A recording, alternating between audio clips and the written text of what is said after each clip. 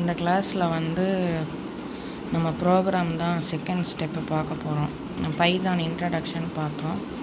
இப்போ ரெண்டாவது வந்து ப்ரோக்ராம் எப்படி பைத்தானில் எழுதணும் இப்போ சிசி ப்ளஸ் ஜாவாலலாம் வந்து லைன்ஸ் ஆஃப் கோடு பெருசாக இருக்கும். அதாவது ஃபஸ்ட்டு இன் டேரக்ட்ரிஸ் இன்க்ளூட் பண்ணும்.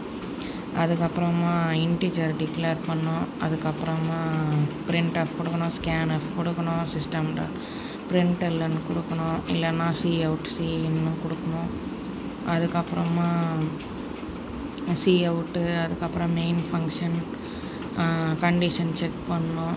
அதெல்லாம் இருக்கும். இதில் அப்படி கிடையாது. இப்போ அடிஷன் ஆஃப் டூ நம்பர்னால் ரெண்டு நம்பர் நம்பர் ஒன் நம்பர் டூன்னு டிக்ளேர் பண்ணிட்டு சம்மு அவ்வளோதான் அது அதுக்கப்புறம் பிரிண்ட்டு நாலே நாலு தான் இது அவுட்புட் வந்து கிடச்சிடும் அந்த கோடு மட்டும் தெரியணும். அடிஷன்னா ரெண்டு நம்பர் ஆட் பண்ணணும் அப்படின்னு.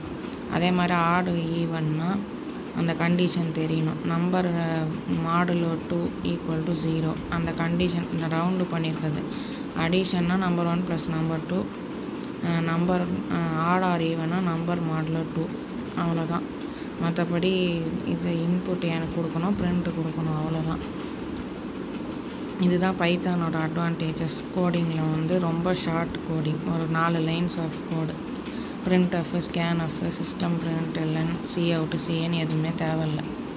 இதுதான் வந்து அட்வான்டேஜஸ் பைத்தானில் வந்து லைன்ஸ் ஆஃப் கோட் ரொம்ப ரொம்ப கம்மி.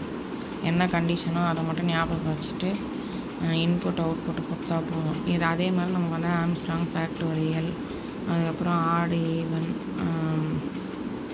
கிரேட்டர் நம்பரு அப்புறம் பாசிட்டிவ் நம்பர் ப்ரைம் நம்பர் எல்லாத்துக்கும் நம்ம வந்து கண்டுபிடிக்கலாம். இதுதான் வந்து ப்ரோக்ராம் கோடிங் பைத்தானில்